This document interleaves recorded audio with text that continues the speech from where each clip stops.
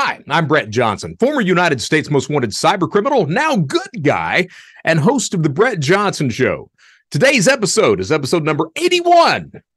On today's episode, we're going to call it Reaching Out for Advice when we come back. All right, so we are back to The Brett Johnson Show, episode number 81. We're calling it reaching out for advice. And the reason we're calling it reaching out for advice is the other day I got a letter. Well, I got an email. I got an email. And the title of the email was Reaching Out for Advice. And it was this gentleman who had contacted me anonymously. He didn't want to tell me his real name. He had contacted me anonymously for advice on how not to break the law. And I was tempted. I was tempted to respond immediately with Jim Carrey saying, Stop breaking the law, asshole, as my advice. But then I reeled it in and I was like, you know, this would make a good show. It would show it would we could talk about cognitive dissonance, talk about choices, how they at the end of the day it's really your choice. You don't have to decide to break the law. You can choose not to. And we could talk about that thing that I preach constantly of thoughts determine feelings, feelings determine actions. If you change your thought process, guess what? Your actions will change at the end of the day. So I thought it would make a nice short episode to just read the letter out loud. Maybe I can hold my tongue and not comment on the letter as I'm reading it. I have no idea because let's be honest, I like to spout off at the mouth a lot. But that being said, I figured we could just dive into it, walk through this guy, um, and and maybe you know he'll watch the show, maybe he'll take the advice, maybe not. It's his choice at the end of the day. But I, I thought it was a really interesting letter. Uh, I'm going to go ahead and share my screen. Let's see here. Let's pull this letter up. Let's go ahead and share my screen so that everyone so that everyone can read along. All right. So we're now sharing the screen. This is the letter. He sent it over to my gollum at anglerphish.com address. Anyone's welcome to contact me. And here's the thing if you are really serious about turning your life around, you know you've been a criminal you are a criminal i understand that the road to, to recovery is never a straight line you are going to backslide but as long as you continue that forward momentum you will eventually get there so if you're one of these individuals that's serious about turning your life around i absolutely want to talk to you I absolutely do. And I want to help you as much as I can. If you are full of bullshit, I have very, my, my patience wears thin with bullshit these days. I really can't cope with it. I really don't want to hear it. Uh, I've interviewed some felons recently, and some of these felons are are um, extremely good people. They have served massive amounts of time, and they really want to turn their lives around. And I, I I want to help them as much as I possibly can, as much as I possibly can. But I've also talked to a few felons recently that, hey, they're full of shit and I let them spout off at the mouth. And I'm, you know, we'll comment on the show when it happens. Okay. But bear that in mind. If you, if you, uh, if you're out there breaking the law and you're serious about turning your life around, please contact me. I, I do want to talk to you. And maybe I can do some good. Maybe we can, you know, I can be part of that support group. I'm not going to, um, I'm not going to give you any type of verbal masturbation. I will simply tell you what's what, what's what, and what's not. I mean, I'm not going to pull punches with you. Um, but that's what's needed in a situation like this. You don't need someone to stroke you and say everything's going to be all right. You need someone that's going to be honest and upfront about things. So let's dive into this this letter. Okay, it was titled "Reaching Out for Advice," and it begins. Hi, Brett. I first discovered you while listening to a Lex Fridman podcast and I've now begun to listen to your online fraudcast episodes. I'm very intrigued with your previous career and subsequent turnaround. In some ways, it's similar to my own situation. I'm sharing my story anonymously based on the information that I disclose. I'll give you a brief rundown. Rundown.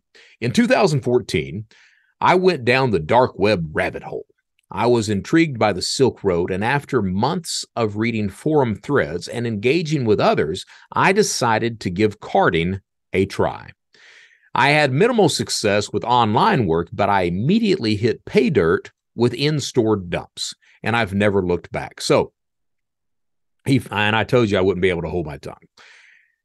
He he's he's he reaches out to me because he you know my story is the guy who was able to turn this shit around, and I hope that he understood that I had a lot of help turning this shit around. That you cannot do it by yourself. Yes, you can make the decision to do that, but you have to have a support group, a safety net, people that you can talk to, people that will give you honest, direct feedback, people that aren't just yes men or yes women, and, and someone that is there to call you on your bullshit. Okay, so that's very important. So he found Silk Road 2014. I actually think Silk Road shut down before that, but maybe not. I'd have to look at it, not that I really care. All right. But he says that he gave online carding, so CNP carding. So he was buying credit card numbers on Silk Road. Back then, they they sold for you know eight, twelve dollars, about what they sell for now. So he was trying to buy shit online using stolen credit card numbers, and he was failing miserably. So then he decides to go the dump route. So dumps are the mag that's the magnetic information that's on the back of your card the the back of your debit or credit card that magnetic stripe there are three data tracks on that the first data track is the customer's name second data track is the card number forward slash 16 digit algorithm out beside of that Third data track is called indiscriminate data. No one uses it. What's bought and sold, the dump, is the second data track. Back then, those things sold for around 30 bucks. Today, those things sell for about 30 bucks. You're sent that data track. You have to get a counterfeit card or a prepaid debit card that you get and re encode it, something like that. And you go in the store and start to shop. So he says that, hey, I failed miserably with the online shit, but I found a good dump provider and I hit pay dirt with that. And he says he never looked back. Now, continuing with his email, he says, Now, at this point in time, I had just transitioned my career as a professional commodity trader from working with a proprietary trading firm to going solo. It was not a good situation for anyone to succeed. I was undercapitalized, and we had just had our first kid. Needless to say, the stress to perform well and consistently was a lot to bear. I first used the in store swiping as a way to, quote, supplement the times when I wasn't earning enough to cover our monthly expenses, but that need continued to grow. So what he says is, and and maybe people are starting to pick up on this already. Lord knows I did, but he says, you know, hey, I was I just changed careers, jobs. I was going solo, and you know I, I, wasn't able to make ends meet. So in order to make ends meet, you know I, I started I started swiping dumps, and you know I, that that was what it started out was you know trying to make ends meet, but the need continued to grow. Well, here's what actually happens when you start to steal money, the value of money becomes less. You start to not really appreciate or respect the money that's coming in because you're able to steal it. So it's not surprising that the need to make ends meet would continue to grow because you've got a lot of excess cash coming in that to you has really kind of lost the meaning of value. So you start to spend it on bullshit. Let's be honest. You start to spend it on bullshit. Yeah, you're paying your bills, but you're starting to spend it on bullshit as well. And of course, that bullshit tally continues to rise. In 2015, continue his, continuing his email, in 2015, I had my first run in with law enforcement. A detective from a western suburb contacted me to ask questions about an identity theft situation for a consumer that contacted their police department. They traced back the in store swipe at the grocery store to my license plate, and they wanted to know if I was using that specific identity of the cardholder for anything else. I explained no, and somehow social engineered my way out of that situation freely, or so I thought. But I was free to go, and I went back home to resume my quote normal activities toward the end of 2015. I decided to stop swiping and focus on going live with my trading business again. I was developing a better algor- algorithm. Ah, I have trouble with that word. algorithmic trading strategy strategy that included tighter risk controls. It worked well for a couple of months until an extra volatile market period. I began I began earning 3 times my daily average profits. But then my losses also equaled the same amounts. I decided to override my risk controls because I thought I knew better than the algos. Hubris got the best of me. My losses snowballed, and by the time I did anything, I had lost 80% of my capital and all unrealized profits. I decided to go back to swiping again. I began hitting everything hard using Joker's stashes, using Joker's stash, and going through a couple of dozen dumps per day. At the height of my activity, I was probably netting around $40,000 a month, but my average was closer to $20,000 a month. So, this dude, and you may be able to tell I'm getting a little uh, stressed with this bullshit. Little, you know, I, I don't suffer bullshit lightly. So he, he's he's working and he's taking these chances and of course the chances don't pay off. The house wins at the end of the day. So he decides to start going full-fledged into dumps. And what he does is he hits joker's stash. So joker's stash is closed down now the uh, the people who ran it shut it down and they had profited a billion dollars selling dumps for those who don't know joker's stash started out uh, selling dumps the the initial market there was absolutely crap. Um, the the dumps that were that were initially offered on Joker's stash were garbage. They they rarely worked. They had an extremely bad name, but the people who owned that site kept at it, and they after a, a time they got very good dumps. They got very good information. They became a premier market. And they ended up profiting over a billion dollars. Now, that being said, that does not mean that you know, some of the people over there did not go to prison or may not be working for law enforcement. I know for a fact that the the admin password to gain access to that uh, to the admin site was rectum r e c t u m now how do i know that well i know the individual who fished out the leadership over there and got access to it and uh, i would imagine that consequences were to be paid that may have prompted that site to shut down the way that it did. So he starts running. Pay attention to what he says here. Using Joker Stash, he was going through a couple of dozen dumps per day. So he was he was full-fledged into carding. He was swiping 24 cards a day. A day. Either he had dumps and pins or he was buying merchandise. More than likely, he was buying merchandise and he was profiting $40,000 a month. Now, I was told the other day, I was on a, um, I was on a podcast on a podcast with uh, Herb Weisbaum. He's a former uh, Today Show host, and he's a radio uh, uh personality now up in Washington State. And I was, we had this group podcast. We were talking about AI, and one of the individuals there said that, you know, all criminals are lazy. Let me dissuade you of that notion. Criminals are not lazy. They certainly are not. Those those drug dealers, they work their asses off. Those trap stars, the people who stand at the corner slinging crack or what have you, they work their asses off. They absolutely do. It's usually it's a lifestyle. It's called a criminal lifestyle for a reason. It's not a 9 to 5 job. It's a 24-hour a day, 7 day a week, 365 day a year lifestyle. It you work constantly. When I was breaking the law, I was on a computer typically 16 hours a day, maybe more than that, 12 to 16 a day easily. Uh, the, the only time I was typically off a computer was when I was running drops or when I was hitting ATM machines to pull cash out.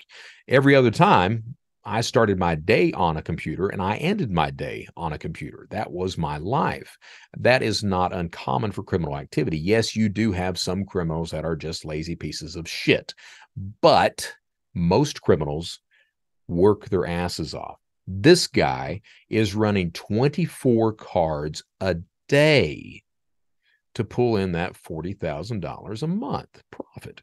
Not only is he pulling 20 is he running 24 cards a day, but understand he's got to go he's got to take road trips to do this. He's got to plot out stores to do this. He's got to figure out what merchandise to get. He's got to have uh, he's got to carry the merchandise, store the merchandise someplace. If he's reselling merchandise, which he's doing, he's shipping that merchandise out. So he's also running drops, he's running shipping addresses, he's doing all this stuff.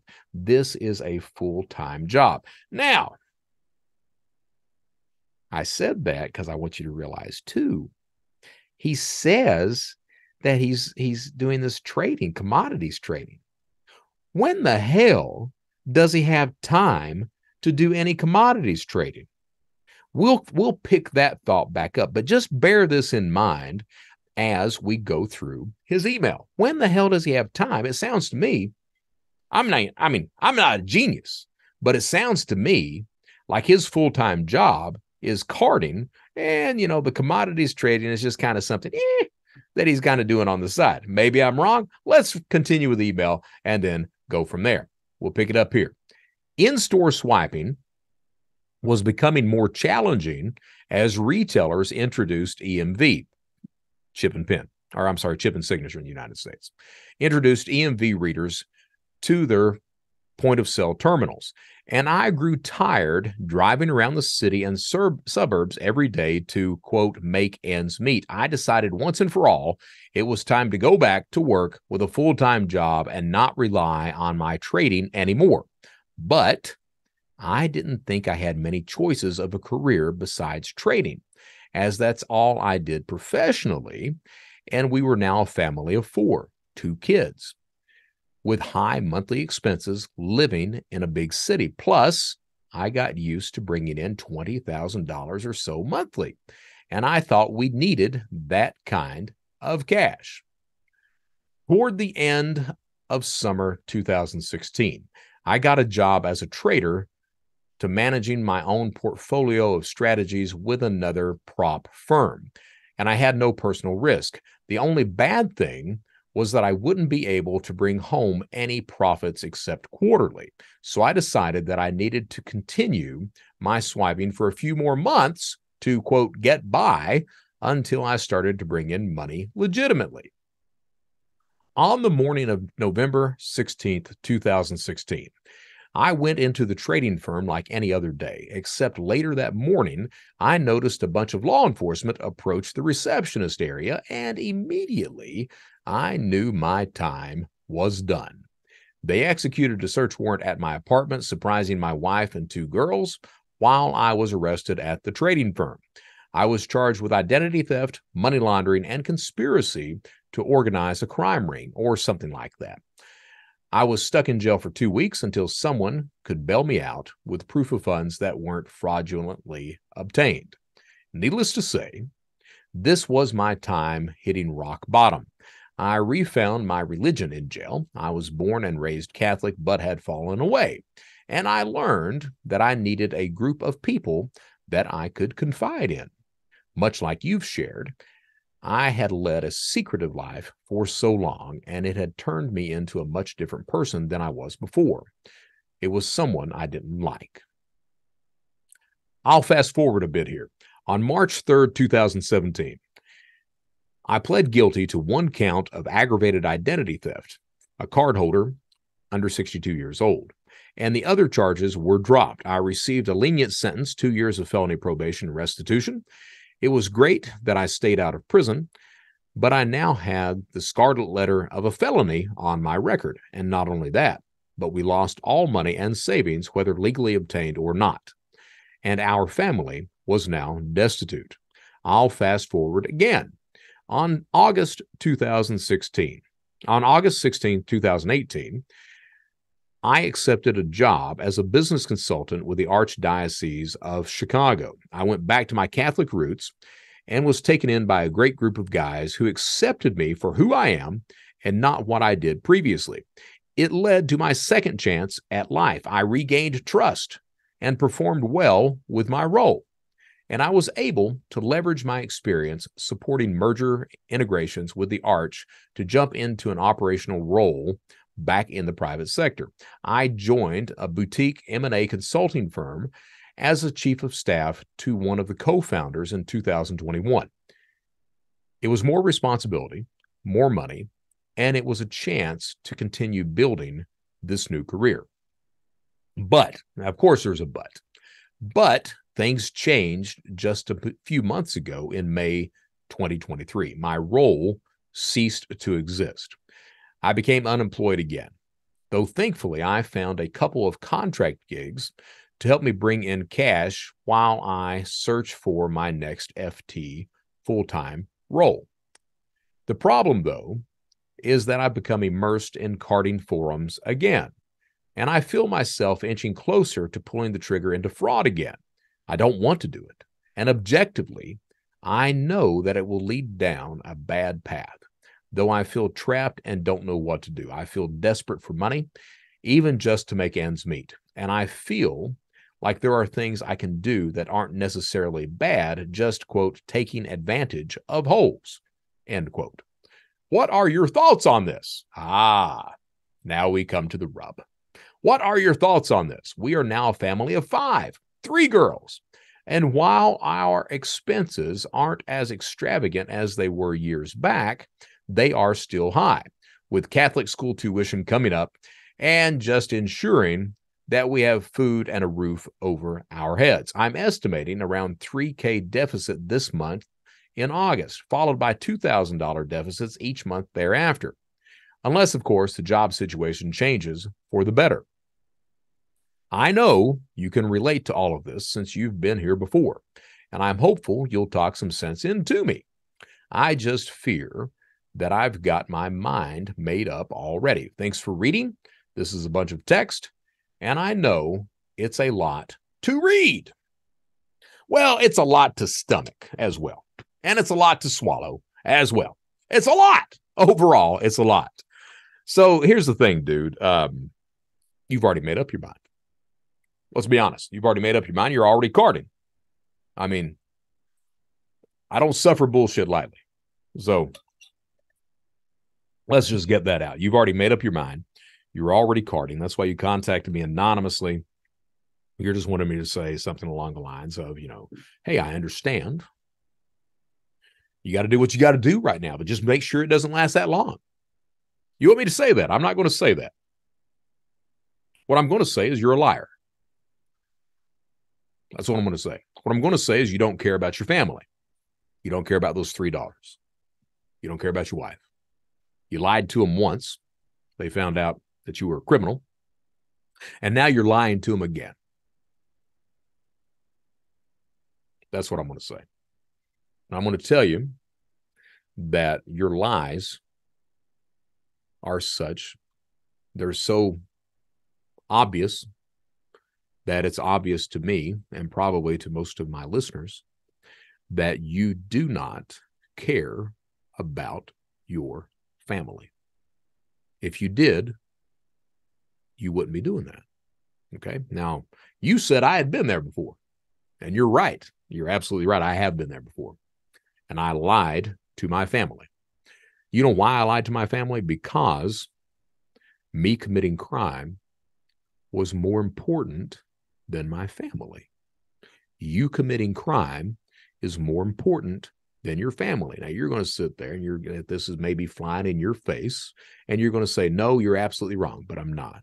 I'm not. And if you were objective, and if you would pause, and if you could just step outside of yourself for a minute, you'd realize that too. The crime is more important than your children, those three girls, and your wife. The crime. Okay. The email that I read, the email that I read was of a gentleman who was a carder. And on the side, he was doing this day trading. Here's the truth of the matter you cannot serve two masters. All right? You can't. You have to serve one master, and you have to decide, you have to choose which master that is. There's a reason that you went broke. There's a reason that you weren't successful with that commodity trading and then when you went solo. And that reason was you had this other stuff on the back burner this crime stuff, but it wasn't on the back burner. That was actually the front burner. And you had the day trading on the back burner. You didn't respect that career. You didn't give that career your all. What you gave your all was the swiping 24 dumps a day. I know how much work that is. And I would doubt seriously you'd be able to do to seriously take any other career in hand, any other. So your commodity trading and all that was actually on the back burner. It was simmering. You know, you were uh, you were the carder, you were the criminal, and you were hoping that the other would take off, and you were funding that doing the carding. You talk about the bills that are being paid. Let me tell you this right now. If you can't make ends meet, you need to realign your budget. I don't know where your kids are going to school. I don't know what kind of uh, hobbies are doing anything else like that. What, what extracurricular activities, what have you. But let me tell you, you can make the choice to not break the law. You don't, if you've got a $3,000 deficit on a month or a $2,000 deficit on a month and you can't make the ends meet, then it's up to you to cut budget, whether that means change schools, change homes, uh, let a car go back, buy a used vehicle, cut out extracurricular activities, uh, start shopping instead of you know going to Kroger or Publix for for for groceries. You go to Save a Lot for groceries, and by God, I've done that because you're right, I've been there. So that's that's what we're talking about. Is that I want to go through this email and point out these things to you. And by this point in time, hell, you may have already disconnected from today's show. I, I, I don't know. All right. But, um, you know, you 2014, you went through, you went down the rabbit hole. Why, why did you get on Silk Road? You know, most people do not visit the dark web just out of curiosity. Most people don't find Silk Road out of curiosity, and most people don't take the time to start reading forums because Silk Road did not have a forum. So you had other forums to find out about carding at that point in time. So 2014, that may have been evolution. Um, you obviously were around while Alpha Bay was up. So those forums were around. Um, Tor forums, I believe, was another forum that was around at that point in time. So you were obviously on these forums reading about carding, finding out who you could buy from, things like that. You were not just, you just didn't happen to come across CVVs, you know, online stolen credit card information. You you searched that out and decided to buy that after doing proper research. That's why you went over to dumps.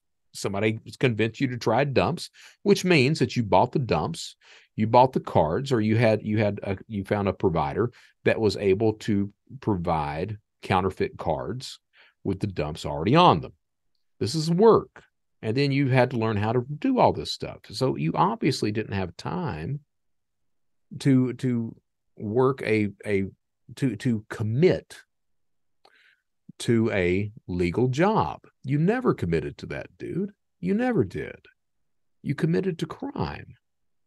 And I'm sorry I'm climbing your ass about that, but understand that you, when I say you you can't have two masters, your master here was cybercrime. It was carding. Your master was not the trading. You ha- you can't commit to two masters. You committed to crime. The other one was just something that you did as a hobby.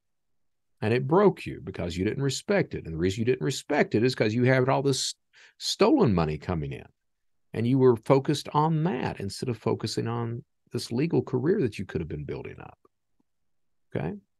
That's what was going on. All right. So, uh, 2015, you had your first run in with law enforcement. And I, I just want to go through this again. A detective from a western suburb contacted me to ask questions about an identity theft situation for a consumer that contacted that contacted their police department. So, and they traced you back. They got you on camera swiping, and then they got you on camera in, in the parking lot, getting in your car. The cops call you. So the victim complains. The cops call you, already knowing it's you. You admitted to it. And then you think that you social engineered your way out of, out of it. No, you didn't. You didn't. Not at all, man. That's that's part of this cognitive dissonance, this faulty thinking. That super optimism is what it's called. I'm free. I social engineered my, engineered my way out of it. No, you didn't. No, you didn't. Cop now knows that, you, and you've admitted to a law enforcement officer that you're an identity thief. Okay, absolutely, that's what happened there. So you weren't free at all, and you went back to resume your normal activities of carding, and then, then on the side, when you had time, of the trading. Okay. Toward the end of 2015, decided to start to stop swiping. And and here's the thing, I've been there too. I mean, when when crime was my was my bread and butter, and that was my my God, you know, there were times that I would that I would set it to the side. I've quit. I've quit, but no, I hadn't quit. You know, I was just trying to convince myself I, I was quitting. I wasn't. You did the same thing. Okay. So your losses, and then you go broke because again, you didn't respect your side hustle, which was the trading. And the reason you didn't respect that is because you were the criminal. That was your primary focus. Okay. So you go back to swiping again. And here's here's the thing. Um, what do you say here? In-store swiping was becoming more challenging as retailers introduced EMV. Yeah, it was. In-store swiping absolutely got killer hard around that point in time. So you were having difficulty. And yeah, you were and you were driving around the city. As I mentioned, you had to find stores, you had to map map stores out, uh, take trips, everything else, because you can't continue to swipe at the same store over and over because they're going to catch you if you do that. So that was your day. I mean, you were working your ass off. Criminals are not lazy folk. I'm not saying you're lazy. I am saying that you got cognitive dissonance and that, you know, you were a criminal the entire time. That was your primary focus. Toward the end of 2016, I got a job as a trader to managing my own firm portfolio. That's good. Okay, so here's what I, here we go. I'll fast forward a bit here. On March 3rd, 2017, you pled guilty to one count of aggravated identity theft. So here's the thing there's a reason you're fast forwarding. And the reason that you're fast forwarding, I go back to what you were originally charged with. Okay. You were charged with identity theft. So you were charged with aggravated identity theft. You were charged with money laundering. You were charged with access device fraud. I know that for a fact. And you were charged with conspiracy. That is a load of charges. Okay. That's a load of charges that's going to get you four or five years in prison. The aggravated identity theft is a two year consecutive added on to whatever the hell else is going on. I know because I was charged with aggravated identity theft too.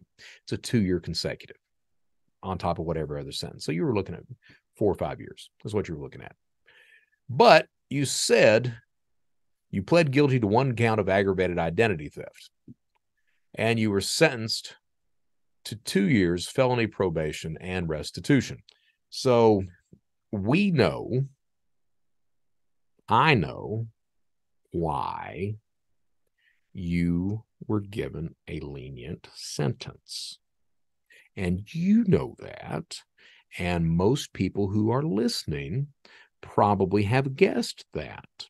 All right. It's not because you were a family man and you had two children and a wife.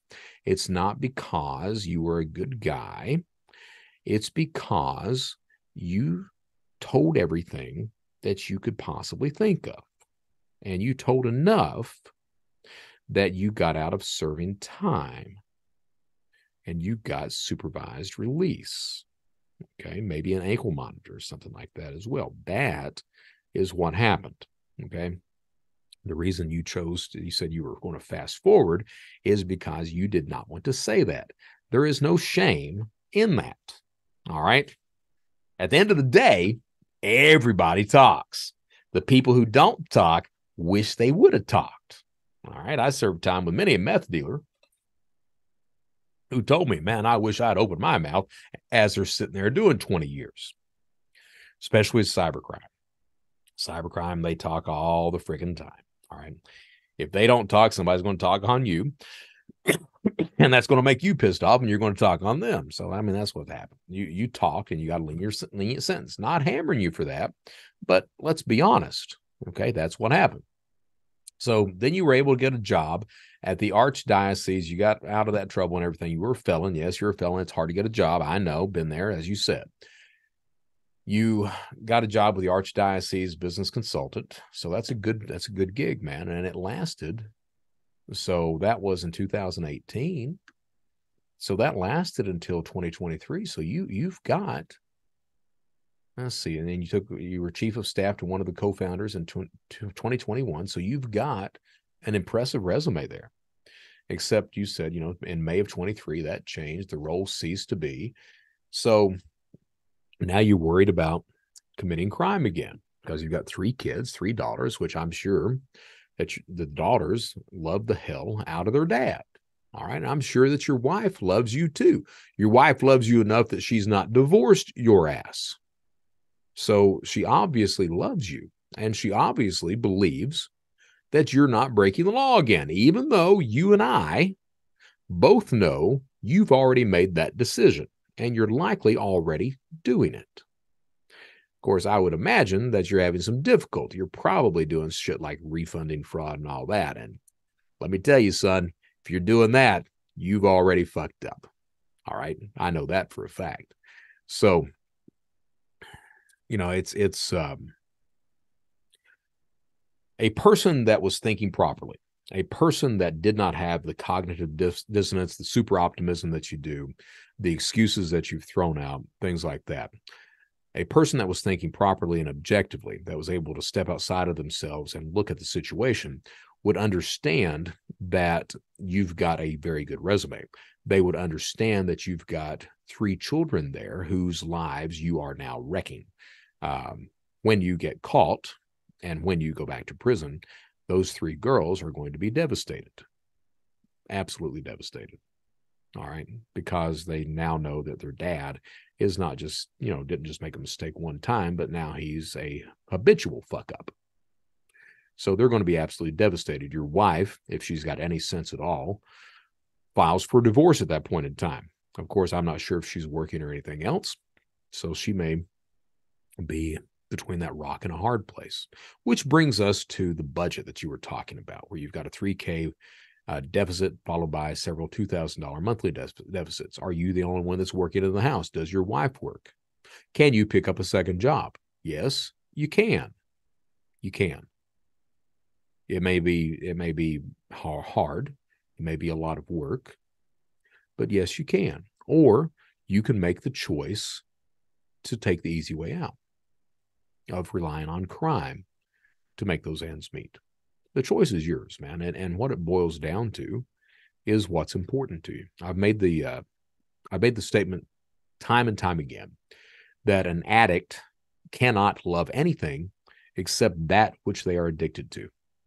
You don't, uh, and I think that you're addicted to this. I absolutely do. That's uh, for your for that thought pattern to say I'm I'm already thinking about going back into crime. Well, that's that addiction for you. That's that. It doesn't have to be gambling or drugs or alcohol. It can be that activity itself. And let me tell you, you may tell yourself every single day that you love your wife and kids. You may tell yourself and convince yourself that you're doing it for your wife and kids. You're not. You're doing it for you. And you cannot love anything when you've got that that takes precedent over it. Okay. So you've got a choice to make. You can choose to do the right damn thing or you can continue doing what you're doing. And ultimately, you won't only wreck your life, but you'll wreck the life of, of your wife and your three kids and your victims and whoever else encounters you. Friends, if you've got any. Let me tell you, if you've got to lie to your friends, they're not your friends. Are you telling your friends that you're breaking the law? No, you're not. So you're lying to them too.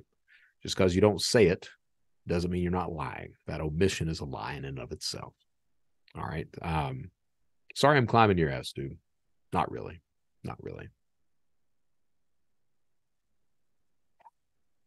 You know, I got a, uh, I got a friend. He posted the other day on Facebook that uh, he's 76. I served time with him. And uh, he posted the other day on Facebook that he was going to commit suicide he was uh, in California. He was a pot grower in California, and uh, state charged him. He he was growing 902 plants, the California state charged him for that because he didn't have a permit to grow it for medical marijuana.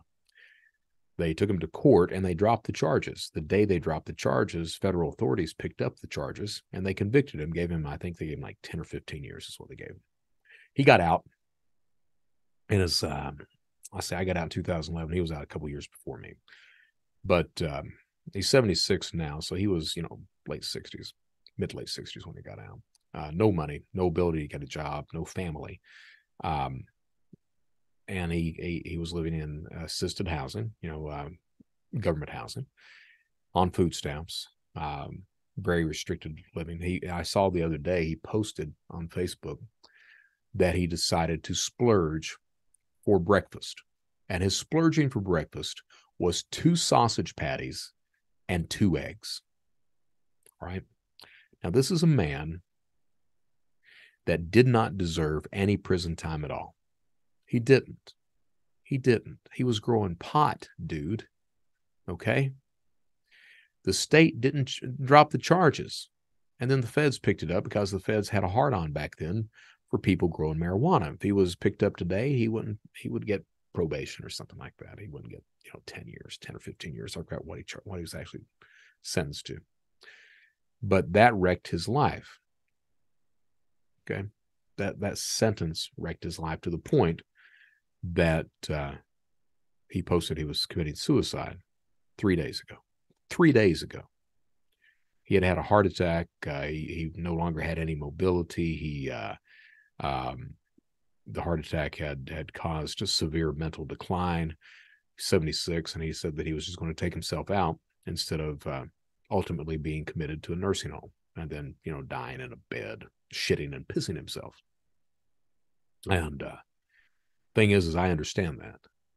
I don't like it, but I understand that. At the end of the day, the only thing that he could control was himself. But he had a choice. You have the ability to get a job. You've you've shown that. Business consultant, you've got a nice, you, you've got a a a great re, uh, resume post release you've got the ability to get a job. You have family. I am sure that you are eating more than just, you know, the ability to have to splurge and have two fucking sausage patties and two eggs for breakfast. And yet you're telling me that you've got it hard. I have very little empathy for you. I have very little empathy. I have a lot of disgust because you've got family that care about you. You've got the ability to work. The only thing you have to do is realign your fucking budget. Yet, you don't want to do that. Anybody that's out there listening, you know, I said at the beginning of the show, man, if you if you want to, uh, if you're a criminal and you're serious about not breaking the law and wanting to turn your life around, I want to talk to you. I don't think that this guy is serious about that. I think this guy's already made the decision to break the law, that he's probably already doing it, that he doesn't, uh, you know, his actions scream volumes about not caring about his family or his children, his wife. Um, there are all kinds of things that you could do that he could do to not break the law. You could get a second job. He could work two part-time jobs. His wife could get a job. Uh, if they're if the kids are in some sort of uh, school where they have to pay for, it, they go to a cheaper school. They could cut ends. They could, if they got multiple cars, they could turn one car back in. They could cash out 401ks. They could do all this bullshit. But instead, he's he's he's sitting there thinking, "Oh, I'm going to commit crime. I'm going to go back into carding or refunding or whatever the hell." that's cognitive dissonance. That's that thought process. You know, that super optimism if you can get away with it. That uh, that walled off thinking of I got to do this. This is the only thing that I can do. You know, change your thought process and understand what I'm saying to you. Actions would change at the end of the day. I just think about my friend who didn't have anything, didn't have a job, who could barely afford to uh, to eat a proper breakfast. And you, on the other hand, have all this other stuff, have everything that he didn't. Think about that, man. Think about that. I'm to close out this show because I've got literally nothing else to say other than that. My name is Brett Johnson. How do we close out the show? We close it out the same way we close it out every single day, every time, by saying, stay safe out there, stay secure, and stay vigilant. But more importantly, I, I need you guys to understand that this is the Brett Johnson show. At the end of the day, at the end of the day, just do the right damn thing. My name is Brett Johnson. And I want to thank you for listening. Until next time.